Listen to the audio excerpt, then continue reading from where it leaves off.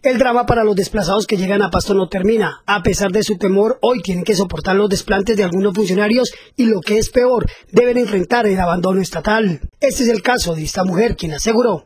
Eh, lo que pasa es que yo soy desplazada desde 1999, pero pues yo no sé por qué, en principio no me aceptaron, pero ahora el año pasado ya dijeron que sí, que yo soy víctima le cancelaron a una hija que yo tengo en otro en otra ciudad ella nos incluyó como grupo familiar y a nosotros aquí no. Y yo he metido derechos de petición y tutelas y esto no está funcionando.